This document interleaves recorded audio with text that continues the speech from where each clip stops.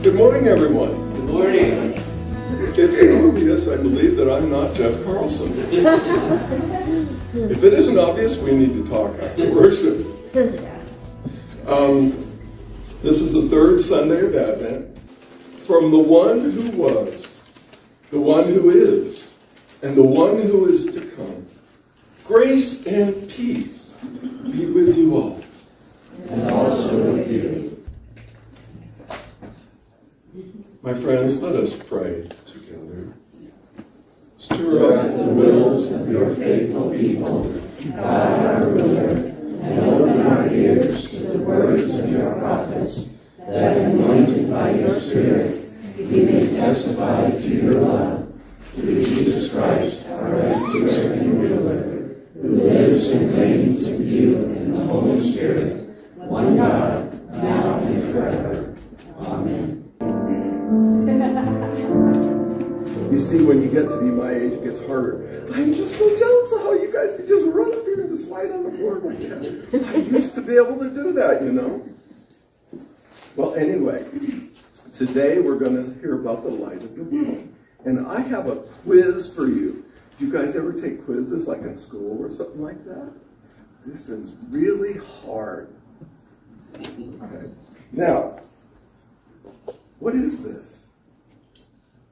Up. Wow, he's got an A already. Good job. Now, can you see the light bulb? No. You can't see the light bulb. Okay. So tell me, is the light right now on or off? How do you know? Are you sure? How would you know if it's off? Because it's not working right now. It's not working, and how can you tell it's not working? Because it's off.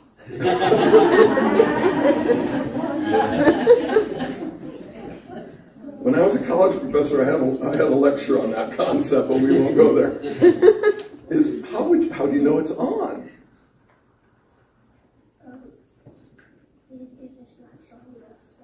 Hmm. Well, let me do something. Is the light on or off now? How do you know? Because there's light over there. There's a light over there. Um, so you're sure that it's on? Yes. I got another hard question for you. Can you see the light bulb? No. But you know it's on. You know it's there, right? Uh-huh. And why do you know it's there? Because the light bulb's in there. Well, you had the answer. I think. What were you going to say?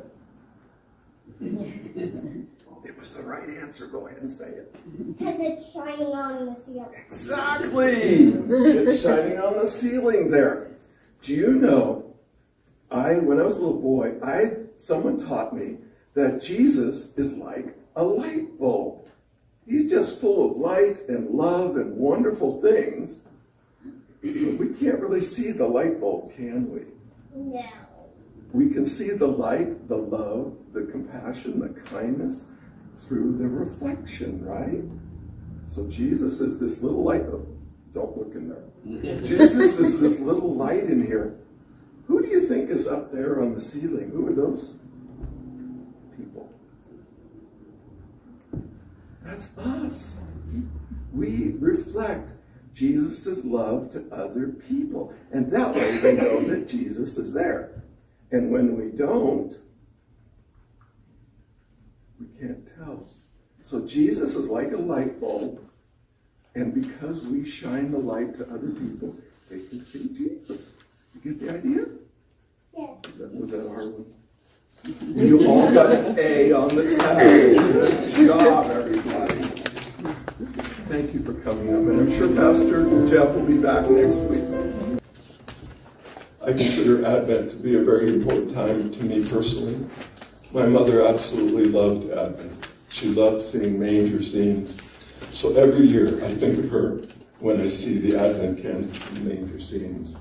Maybe this time bring forward some early memories in your life that uh, you remember about Advent and getting ready for Christmas. Yes. Let us pray. Praise to you, O God. You hold our joy and sorrow. You bring water to parched ground and life out of death.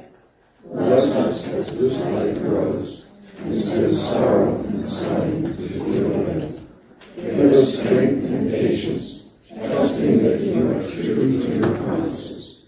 By your wondrous spirit hand, transform the lives of all who suffer.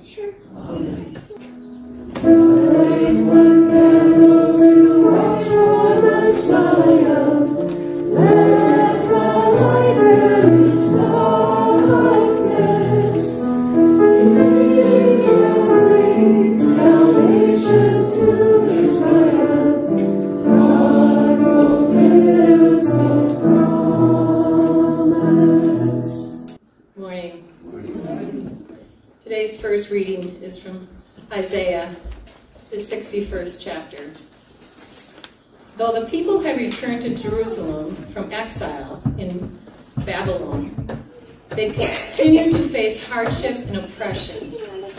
In the language of the Jubilee year described in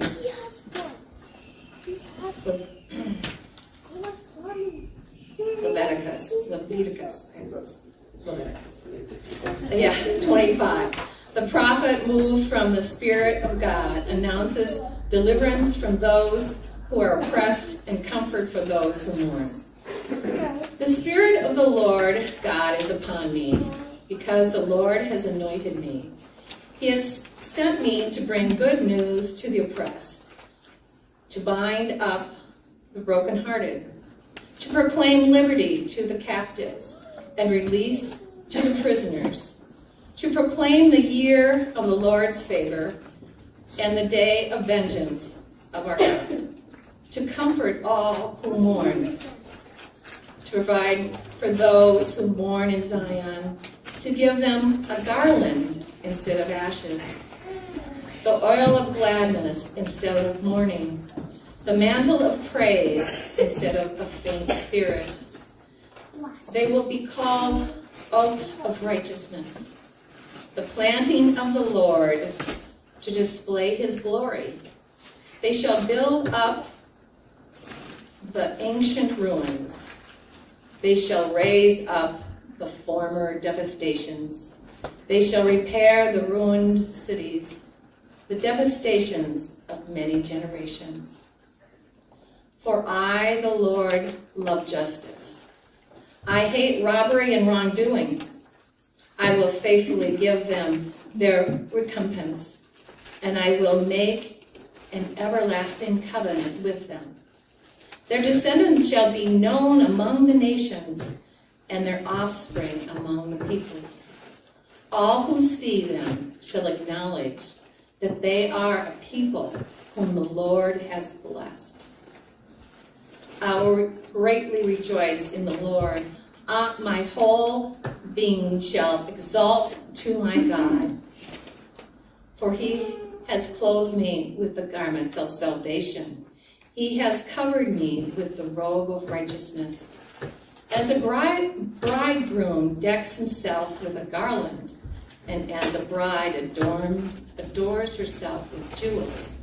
For as the earth brings forth its shoots, and as a garden causes what is sown in it to spring up, so the Lord God will cause righteousness and praise to spring up before all the nations.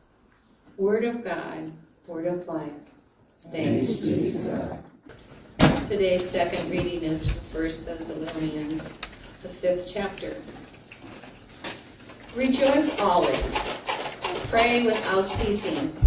Give thanks to all circumstances, for this is the will of God in Christ Jesus for you. Do not quench the Spirit. Do not despise the words of prophets but test everything. Hold fast to what is good. Obtain, abstain from every form of evil. May the God of peace himself sanctify you entirely, and may your spirit and soul and body be kept sound and blameless at the coming of our Lord Jesus Christ. The one who calls you is faithful, and he will do this. For the word in Scripture, for the word among us, for the word within us. Thanks be to God. The Holy Gospel according to John, the first chapter. Glory to you, O God. There was a man sent from God whose name was John.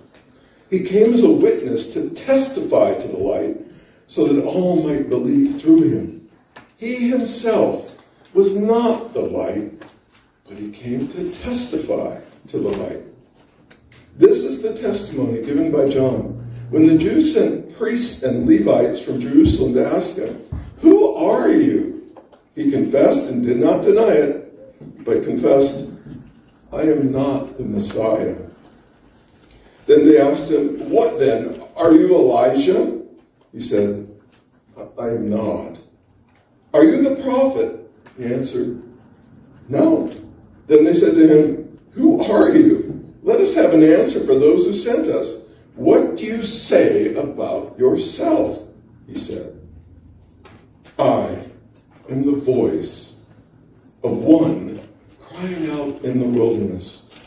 Make straight the way of the Lord, as the prophet Isaiah said. Now they had been sent from the Pharisees. They asked him, Why then are you baptizing if you are neither the, nor the Messiah, nor Elijah, nor the prophet? John answered them, I baptize with water. Among you stands one whom you do not know, the one who is coming after me. I am not worthy to untie the thong of his sandal. This took place in Bethany, across the Jordan, where John was baptizing. The gospel of Jesus Christ. Christ. Well, that's quite a powerful statement if you think about it. Who the heck are you? Uh, well, I'm not this guy and I'm not that guy. I'm just some. Think about what he said. I am one voice singing out in the wilderness or crying out in the wilderness. He was saying, I'm just saying what's in my heart. I know to be true. I'm just here, forgetting what all the dogma is and everything. I'm just speaking the truth. I love what John says. He himself was not the light, but he came to testify for the light. That's why I did the children's sermon about the light bulb. That light was to testify to the real light. And that's what John really was. Let's look at Genesis 1, verse 6. God made the two great lights, the greater light to rule the day, and the light, lesser light to rule the night. The lesser light to rule the night. I have some interesting questions about this idea. First, what or who are these lights in our real world today? Now, yes, we could say it's the sun and the moon. But one thing I've seen in the scriptures is there are a lot of metaphors, there are a lot of hidden messages about our day to day life. Let's accept the idea that Jesus is the greater light and that we, as his followers, are the lesser light. Like my little story about flashlights, we reflect love and compassion during times of darkness, and the moon reflects the sun at our night. And I think we were doing that during the times of COVID. It was a dark time. We were doing our best to reflect the light when it was very dark. When Jesus walked among us 2,000 years ago, the world saw the light directly. Can you imagine looking at Jesus Christ, the light bulb himself, back in those days? And I think I would have been overwhelmed. Now we can see the light from the bulb when someone allows that light to reflect from himself or herself. Second question How do we reflect the light?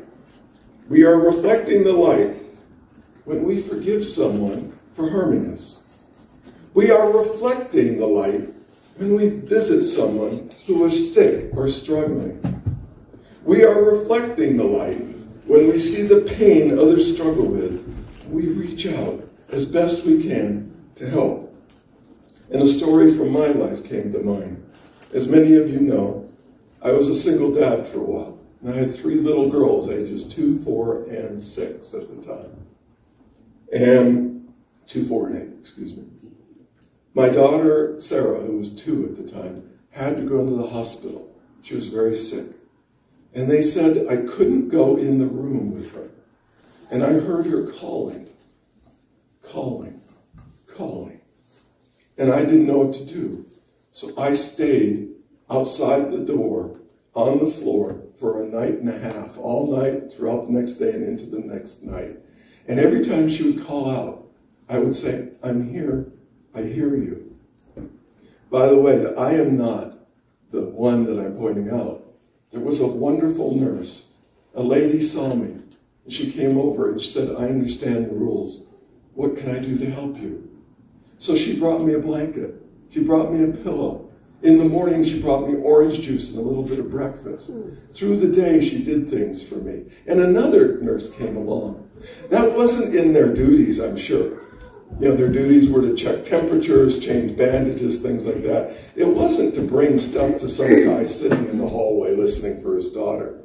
So I've always considered them as a light of Jesus Christ being reflected back on me. Then the question comes to me, what makes us stumble and stop reflecting the light? There are days when it's hard to reflect the light. Things of this society, this world, will throw obstacles, clouds between us and the light. Clouds of fear, of pain, and depression will block the light. I myself have struggled with that quite a bit, but I still continue to look through the clouds for the light. Then the question comes up what can we do with those people who are struggling in pain? This is where all of us come in. When one of us struggles with these clouds, when it's dark and they can't see the light. The rest of us need to reach out and bring the light to that person. Not through words. In all the years that I've served as a pastor, one thing I realized it isn't words that we bring light to people. It's by our presence, by our compassion, by our caring. Be there for someone. Make sure they don't walk alone. That was that nurse in the hospital. She kept coming over and asking if I needed something. I felt like I wasn't isolated in a darkened hallway alone. As many of you know, for about 13 years now, I've been studying trauma. There is one treatment that stood out to me when I studied it that can reduce the impact of trauma considerably. Often, we leave those who are suffering alone. We're hesitant to walk with them in their pain. You understand what I'm talking about. When someone's in pain, you pull away from that. You don't want to get pulled in. We are social creatures, and we need one another when we're carrying pain. Yes, one of the biggest answers for people experiencing trauma is to not feel alone. It isn't magic words, it's being there with them. Being the light, again, is not about words. It's about holding each other up, holding a hand, putting an arm around them, bringing them a casserole, coming over and sweeping their porch, whatever it might be. That person who's in pain, who can't find the light, will feel understood, accepted, and cared for. It's about buying a meal and listening, or folding laundry with that person in pain. In 1985, when I was that single dad, and I was alone at Christmas, I broke down crying, overwhelmed. Great clouds formed around me that day. I couldn't see anything but darkness. I cried out to God and felt a presence that seemed to say, Know that I love you. I am with you, even in the pain. I have taken that as an example of how we could walk with others in pain. Know that I love you. Know that I walk with you. I'm here for you. In all the hardest times of my life, there has been someone who's come over and said, Can I help? I care about you. Did they fix the problem? Most of the time, no. But I'll tell you what, I clung to that person. There was one person that came over and visited me weekly. And I'd open the door and I felt this lightness. And the person just came over once and brought me a cheeseburger. That was the best cheeseburger in my life. Because he came in and ate with me. Did he tell me how to fix my life? No. He just came and walked with me. He lived my life. I felt the presence of the greater light, Jesus, in one of the worst moments of my life and realized here's the point we are called to do the same for others. This to me is the core of the Christian message. We are to be the light for those who are struggling. And I've seen an awful lot of darkness and struggling around us recently. Jesus offers us an invitation. Bring light to those in pain and need this Christmas season. Our lesser lights can bring a lot of healing. If you've been healed, and I dare say many of you have, maybe do the same for someone else. Forgot to bring my flashlight up. Let's reflect the light for others in our society this Christmas. Let us pray. Father, I pray your love fills each of us this Christmas season. Bring us to people in pain. Let us be the love, the light, the kindness, the compassion, the walking word that these people need. Let them see that you indeed are the light. Father, give us strength. In the name of Jesus Christ, our Savior and Lord. Amen.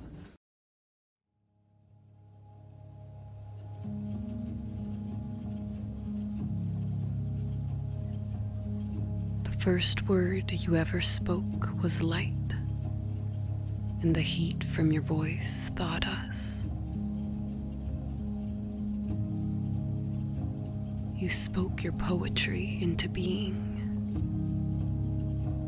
created with words like sacred alchemy to make even a fragile thing give birth to the holy. You began with words, a genealogy of faith, lit a fire in the human voice and said, Testify, said, Create,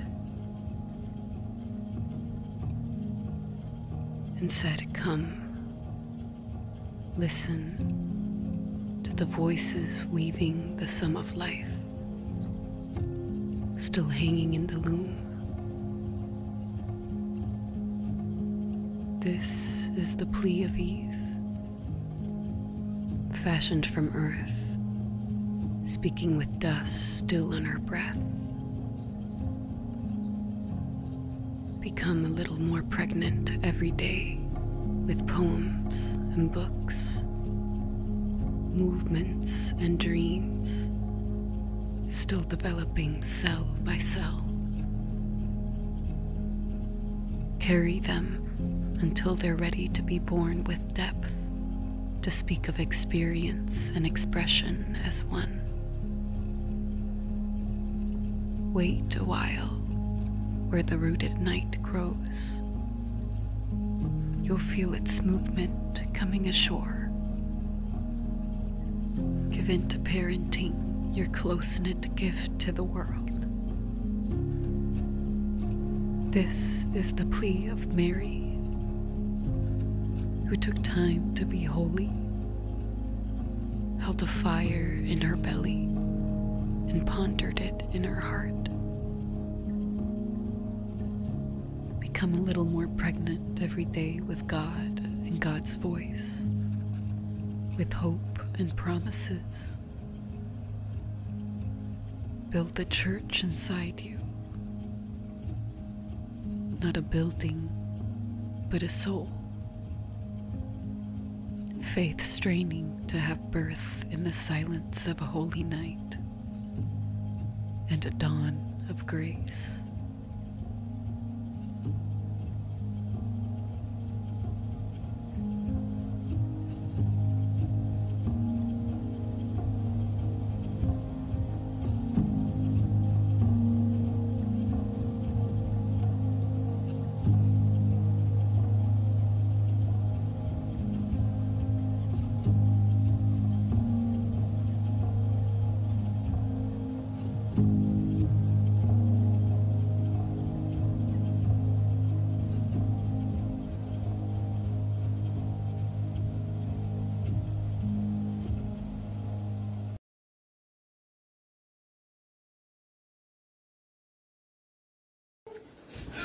May the hope and the peace of God be with you all always.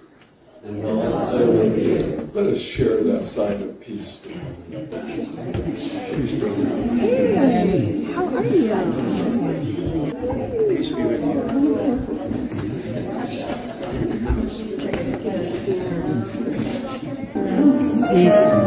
Peace to everyone on the TV, too.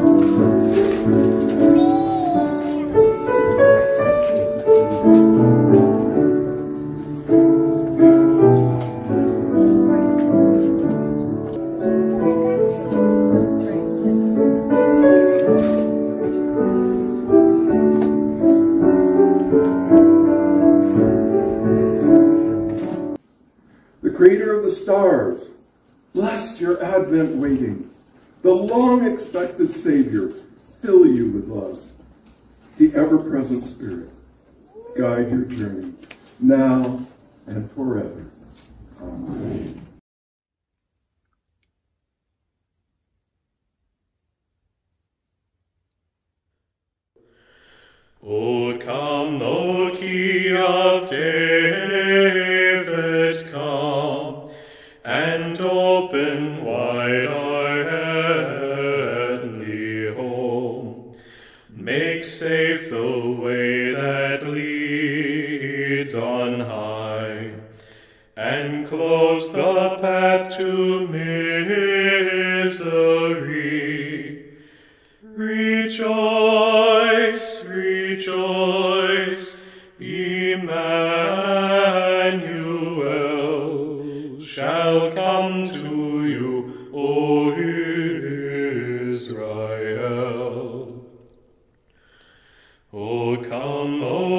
Spring, come and cheer.